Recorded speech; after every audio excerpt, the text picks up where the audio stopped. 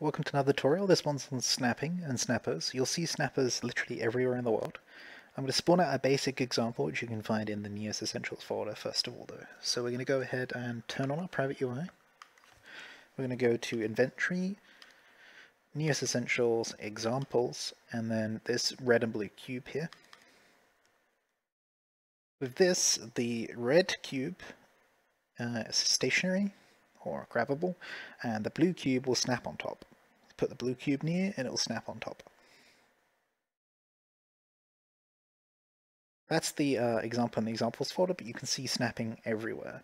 As an example from me myself, if you go to third person camera on my camera UI, you'll now see uh, that when I pull my mask off, my tools live in here by the way, I can put it back on again by just letting go near. That's snapping too. You'll see this on a bunch of avatars, hats do it, all sorts of things like that, armor, weapons, utilities, guns, everything does snapping. Snapping's everywhere. Let's reset up this cube from scratch um, and show you how it works. So back to smooth POV, and I'm going to turn off my private UI. And then we're going to make some cubes. So here I've got the dev tooltip. We're going to open up the dev tooltip, go to create new 3D model box, shrink it down, and then I'm going to duplicate it because we need two that are exactly the same size. I'm also going to apply this material to them, which is a flatlit toon material. It just makes it a little bit easier to see things. Um, when you first spawn out a cube, it'll have this green grid on it. To get rid of that, just uh, secondary select on the dev tooltip and then deselect and then it'll go away. I'm also going to make them red and blue. To do this, we're going to use a color tip. That's inside uh, Essential Tools color tip. Once that's equipped, you can open up the hand menu, and set the color. So we need red here. And then we need blue. There we go. We're done with the color tip, so we can de-equip that. We're also done with this material. So I'm going to delete the material and the color tip. And so now we've got the red and blue cube again. So here we're going to inspect uh, both sides of this because we need to set up something on both sides. So inspect the red cube, inspect the blue cube, and then we're going to rename them just so we don't mix them up later. So here, this is the red one, so we're going to say red box.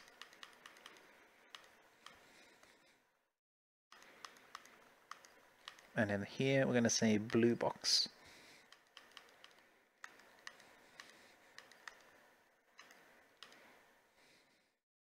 There we go, now we won't confuse them up. So in a snapping operation, there's actually two halves. There is what's called the snapper and the snap target. In our case, the snapper, as in the thing that's going to snap, is the blue box, and the snap target is the red box. So on the red box, we need to attach the snap target. So for that, we go to Attach Component, Transform Interaction, Snap Target. This adds this component here, and we'll talk about it once we've added the snapper. So over here on the blue box, attach component, transform, interaction, snapper. And now you'll see them side by side. You can actually de-inspect things now. So side by side we have snapper and snap target. Let's get these more in line. There we go. So snapper and snap target. So what we want to do is make the blue cube snap into the red cube. So snap target and snapper have a bunch of settings. Um, I'm going to go through some of them. We're also going to skip some of them as well. For the snap target, we have a snapper whitelist, a snapper keyword whitelist, and on the snapper we have a target whitelist and a keyword list. These control what can snap between each other. Because this is an operation where we want only one object to snap, we need to use the top one, the snapper whitelist and the snapper target whitelist. So here, we're going to add an element to both of them. And what we want to do is on the blue box, we want the red box to be a snap target in the snap target whitelist. So we grab red box and put it into the snap target here. You'll see snap target on red box, and then the blue box goes into the snap target, uh, snapper whitelist on the red box.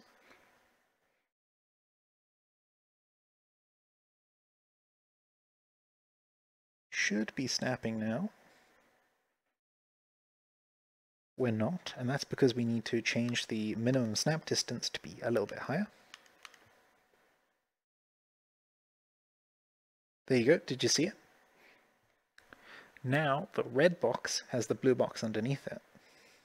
And if I grab, you'll see the blue box comes out again. Let's increase that maximum snap distance here a little bit more. So we're going to increase this to 1. And now you'll see when I bring this closer, it'll do it. Let's increase that to something larger. Let's go 2.5. There you go, that's more like it. So now when this blue box gets close, it will snap. But this isn't ideal because the um, red box is now preventing us from grabbing the blue box. We can fix that quickly by just hitting the blue box here and then doing parent underworld root and then moving the red box and now we're back and we've got the blue box. But let's improve that. Now to improve that what we're going to do is create a snap target object or slot for the, uh, the blue box go to instead of the actual red box itself because the snap target um, is the, the center of this. You'll see here there's a, a yellow dot in the center there. That's where the snap target location is. So to set that up, we're going to remove the snap. Oh, we're on the red. Oh, there we go. We were on the blue box over there from earlier. Um, so we're going to remove the snap target from the red box here by hitting X. And on the red box here, we're going to hit the star icon and make a red box child and then we're going to rename that to red box snap target. With the red box snap target, we can now move this up a little bit. So I'm going to move it just to there, and then you'll see there's a yellow dot floating just above the red cube. And we need to reset up that snap target. So attach component, transform interaction snap target and then we need to add that element. We'll reset the maximum snap distance to 2, uh, 0.5. In case you haven't told before, uh, figured out by now, the maximum snap distance is how far away an object can be before it will snap. So here we're saying it must be 2.5 units away before it can snap. And then here on the snapper, we need to clear that whitelist entry. And then on the here, we need to add uh, we've already added it here, so we add a snapper whitelist, and then we just parent them across. So the blue box goes into the first item on the snapper whitelist, and the red box snap target goes into the first item on the snap target red list, uh, snap target list here. Now, you'll see the blue box snaps to that location rather than inside the red cube. We can now move this down a little bit until these are perfectly aligned, and we've got this again. So we can pull this off, bring it close, it'll snap, pull it off, bring it close, it'll snap. That's it for a basic snap operation. There's a little bit more going on here um, in the distances and things like that. So you'll see here there is the snap distance, which we've talked about. There's also an animation distance. This makes really cool, sorry, animation time. This makes really cool things. If we set this to something like 2, and then we snap, you'll see it glides in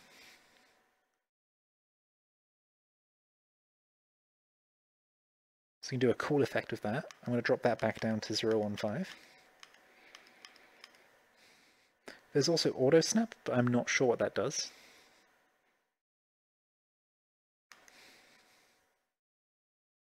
Angle deviation is how much it can deviate from the angle of the snap target. And what this means is that you'll see here that the snap target has a rotation value and it's currently set to nothing. If I were to change this rotation value to be diagonal like this, when this box snapped in, so say we snap it facing the right angle, uh, facing flat like this cube, and we snap it in, it will rotate to align with that snap target. So the angle deviation must control um, how much it can deviate from that angle that's set for the snap to happen. This is also indicating a very important thing that needs to happen, which is the snap target must match the location, rotation, and scale of the final resting place of the object. So as an example here, if I change the red box snap target to have a scale that is different, so we're going to go to, actually let's remove it first, I'm going to go to 0.5 here, and then we snap it in. you see the cube now shrinks because the snap target scale is 0.5 and in a snap it actually parents it underneath that snap target.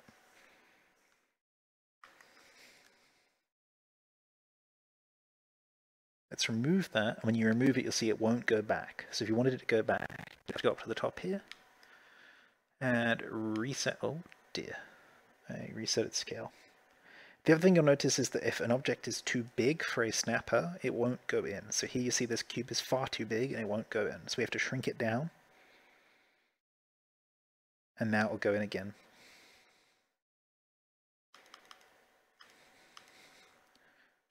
Let's reset that back to normal. As another option here, we can use snapper keywords here. So I'm going to remove the snapper uh, blue box on the whitelist here. I'm also going to remove it on the uh, whitelist here.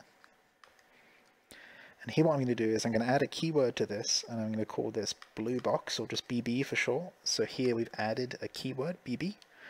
And then over here we're going to add to the keyword list here, BB. Now I can take this cube, make a bunch, and we'll pick one at random, this one, and it will snap. Let's take another one.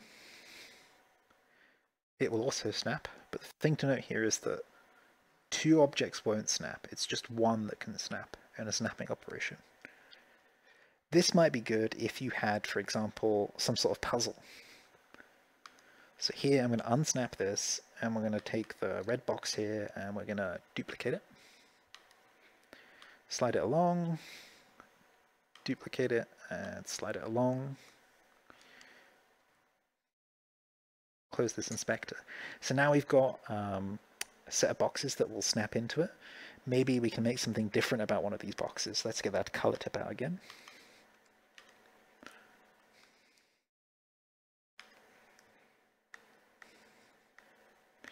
And we'll make one green, a pink one as well.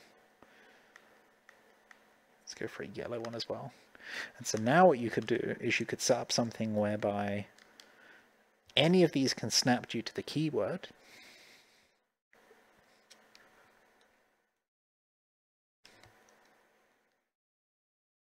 But maybe there's a certain order that they need to be in, and you can detect that order using logics. That's a bit past this uh, tutorial though, um, but it's just an example of how you might set it up and why you might use keywords, and that's so you can have interchangeable operations.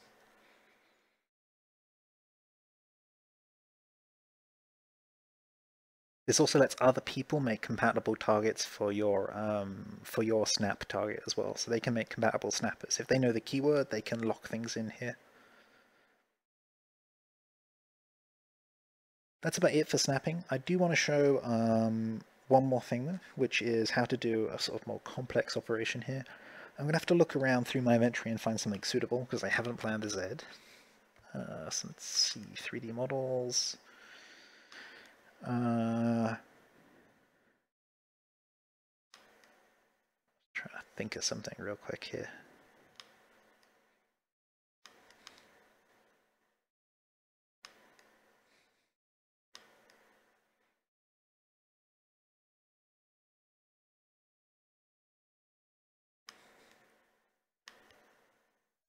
Uh, yeah, that'll do. Okay, sorry for the pause there. What we're going to do is we're going to take this... Uh,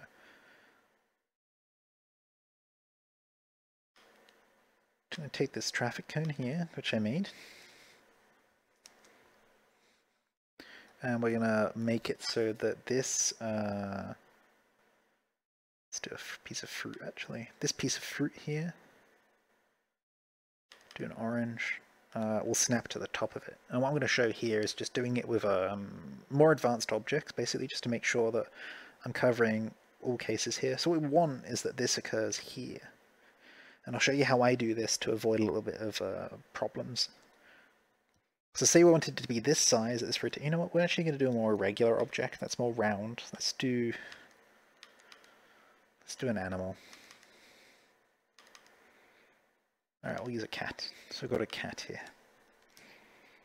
So here you can see that we want the cat to be, let's say, facing this way. And this will show how the rotation and scale of a snap target is important. and how I usually do it. So we want the cat to snap to the top of the cone here. So to do that, what I would do is I would open up the cone in the inspector. And I would go to the top of the cone. The cone's just a glued object made in game. And then I would also go to the cat and I would um, go to the top of the cat. And I would first of all parent the cat to the cone, and then we don't need this inspector.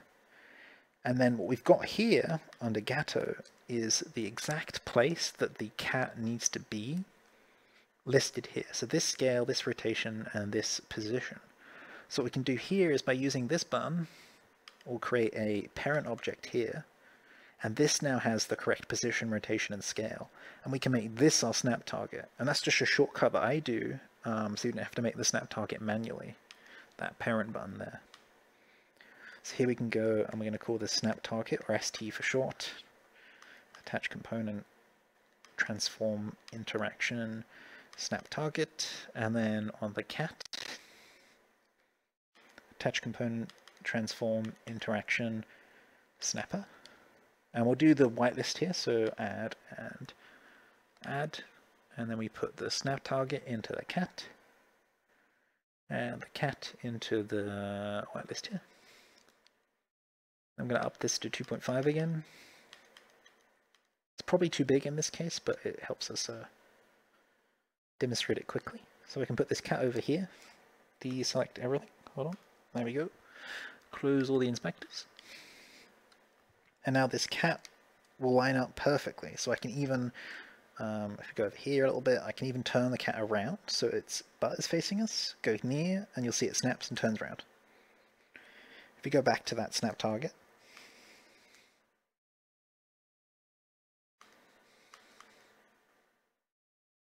We can also set the animation time here to back up to 2. let's go 2.5 again. And then this time bring the cat over, turn the cat around, let go, bring it closer.